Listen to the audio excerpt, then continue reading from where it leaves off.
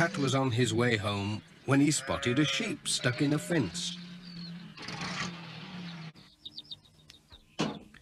So he stopped to let it out.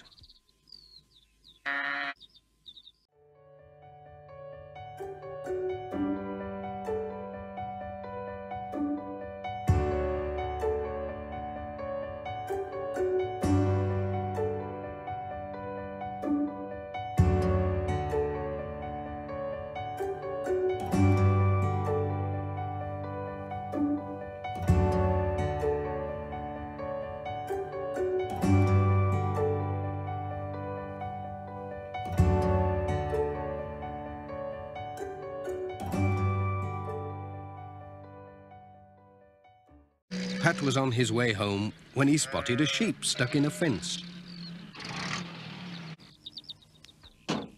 So he stopped to let it out.